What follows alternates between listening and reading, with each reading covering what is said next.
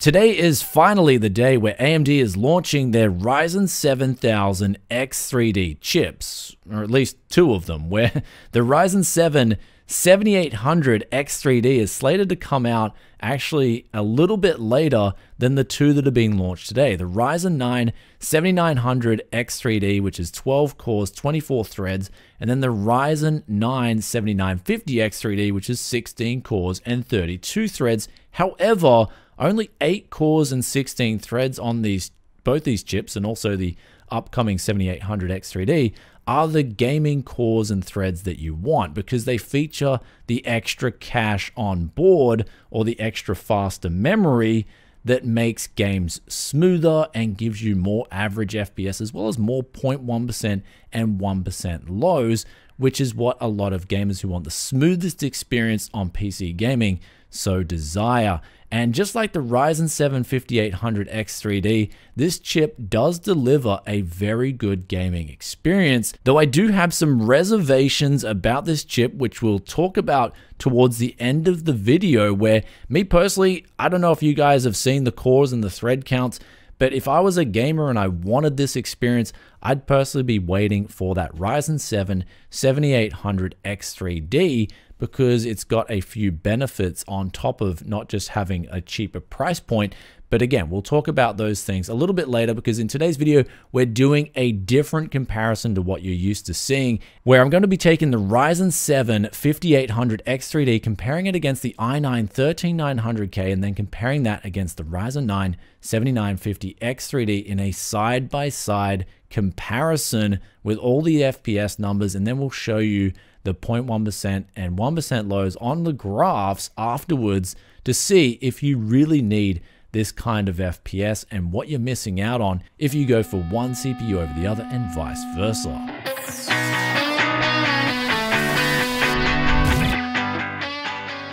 Welcome back to Tech Yes City. Now we've got two of the latest and greatest fancy effects titles in today's video and then I've also decided to throw in three competitive multiplayer titles that are played for serious money by pros. However, let's get on to the first one here. That is Hogwarts Legacy, where the 7950 X3D did pretty much the same as the i9 13900K, and then the Ryzen 7 5800X3D was falling behind by, when I looked at the charts after I did all the benchmarking, it's falling behind by 4 average FPS. So at 4K high settings, the CPUs here were pretty much all maxing out an RTX 4090. And I mean, if you start chucking more settings up to ultra and things like that, then you're only going to get lower FPS, and that's going to be more of a GPU bottleneck, which means that all three of these CPUs are absolutely fine for this game. Though on to the next one here, Atomic Heart.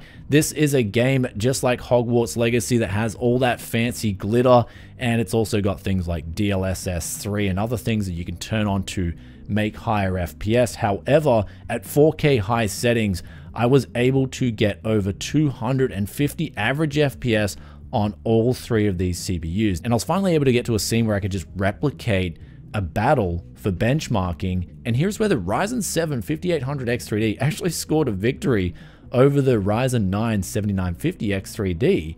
It was actually quite bizarre. This is the only title in today's video where this did happen. Though let's move on to some competitive titles here with the first one being Fortnite. This is at 4K low settings, and here is where we're getting over 400 average FPS on both the 5800X3D and the i9 13900K. However, you'll notice that the 7950X3D actually scored the victory here with over 500 average FPS. But one thing that was weird about this game was that the i9 13900K ended up coming out with the highest 0.1% lows. And then also the AMD 7950X3D came out with the highest 1% lows and average FPS. So it was a little bit of a weird mix here, but all three of these CPUs, you could play an extremely competitive game of Fortnite.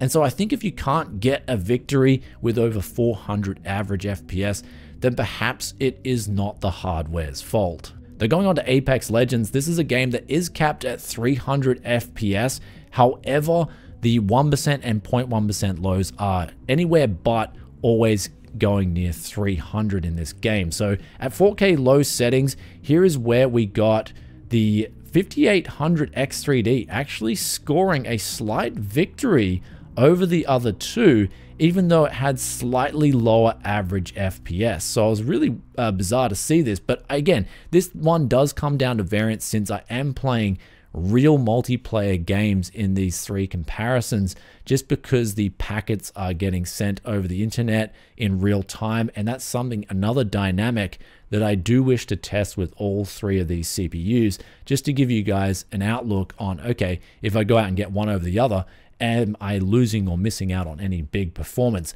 But when it comes to Apex Legends, all three of these CPUs will do an absolutely fine job. However, the 5800X3D did slightly score a victory on the 0.1% lows. So that was actually really good to see considering it is the cheapest option of all three of these on the group here, as well as having the cheaper motherboard costs and the cheaper DDR4 platform costs. However, onto Dota 2, one that I do play in my spare time. I really enjoy games of Dota 2, and this one's capped at 240 FPS, and we're playing at 4K maximum settings here because the RTX 4090, at least in this benchmark, can max this game out at 4K and with incredibly high FPS.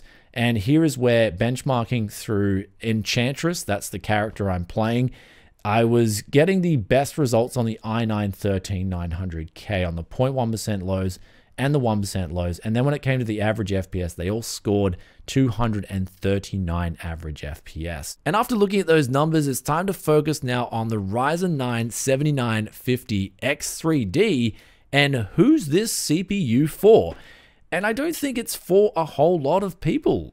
Uh, if you want the performance that you're seeing in today's video and you wanted it at a better price, I would much rather wait for the Ryzen 7 7800X3D. That's going to have those same 8 cores and 16 threads with extra cache that you want for gaming.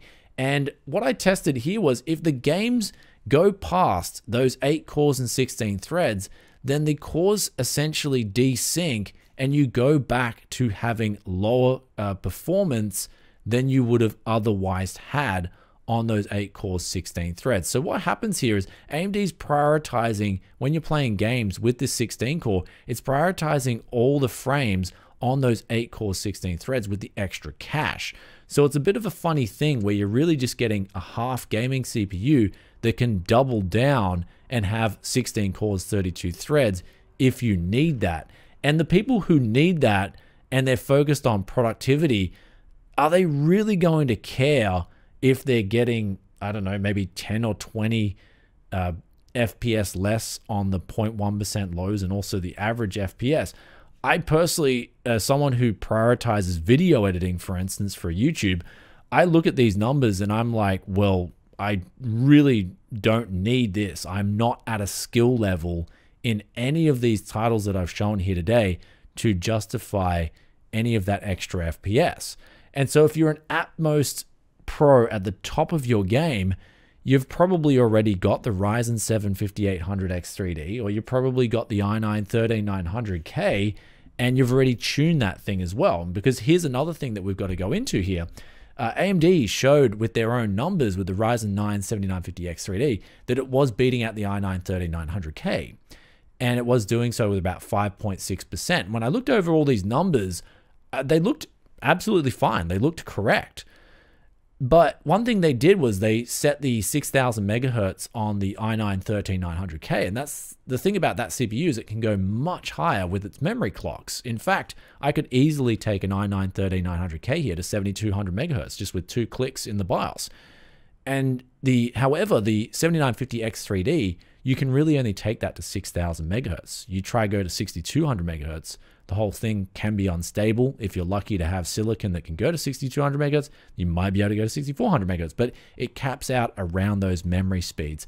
So even with those numbers that AMD themselves presented, you've got a CPU here that's not offering massive strides in gaming performance over what's already out there. And I'd say if you're looking for really good FPS, that higher tier of FPS, but looking for the best value, then the Ryzen 7 5800X 3D already gives you that. And you can couple it with cheaper DDR4 memory and a cheaper motherboard. Of course, you do have the path there with AM5 to upgrade in the future, but you as well get the 7800X3D anyhow and save that money and use it for the upgrades in the future if that's what you want. And the final thing is when we compare this CPU to the Ryzen 9 7950X, it's also even more constricted in that we really can't change anything in the BIOS, at least the BIOS that I had here. And the Ryzen Master will really only let us set in an eco mode, which will drop the power consumption down actually significantly, which is good for mini ITX users. Actually, I'll quickly throw up some uh, power consumption and temperature numbers here for you. But these power consumption and temperature numbers are pretty much static. You can't change them. And this CPU, much like the Ryzen 7 5800X3D, is pretty much just set at a certain level. But at least with the 5800X3D, we could slightly undervolt that. In this case, the best I could do in undervolting it at its default clocks was lock in a lower load line calibration, which dropped the power consumption down 2 watts in Cinebench.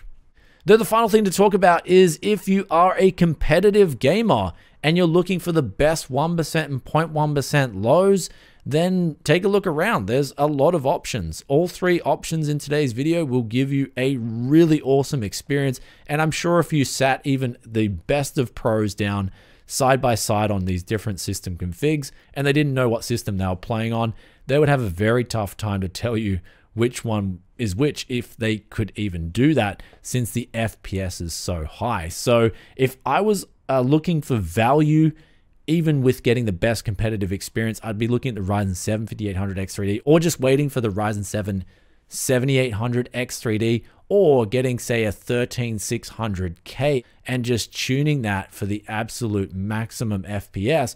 So this just makes ultimately the Ryzen 9 7950X3D just stuck in a really hard spot right now, especially in the current economic climate where money is becoming tighter. And so people are watching what they spend. And since we're on that note of watching what we spend, the 7950X, for example, can be had for $100 cheaper. The 7900X, these are the non X3D models, can be had for $450. And the 7700, for instance, that can be had for $330. So all these models offer actually higher clock speeds out of the box. So if you're looking at them for productivity first, they're going to do a better job at that. But we will have that full review coming very soon, so stay tuned for that. But with that aside, guys, I would just wait. If you're wanting this performance that you're seeing here today, I just wait for that Ryzen 7 uh, 7800X3D. Though do let us know in the comment section below what you guys think. Love reading your thoughts and opinions as always, just like this question of the day here and it comes from TRH2243, and they ask, at 15 minutes and 30 seconds, did you mean 48 kilohertz or 96 kilohertz? So they're talking about our Windows 11 optimization guide where when you're setting your sound levels, I usually just set them to 48 kilohertz. However, after we did that video, we did realize that there was a few games that are coming out with 96 kilohertz audio support, so if your sound system can allow you to lock in 96 kilohertz 24-bit, you may wish to do that. But for the majority of video games, 24-bit 48 kilohertz is going to give you the full listening experience from your audio equipment. Hope that answers that question. And with that aside, I'll catch you guys in another tech video very soon. If you stayed this far and you're enjoying that Tech Yes content, be sure to hit that sub button, ring that bell, and I'll see you in the next one. Peace out for now. Bye.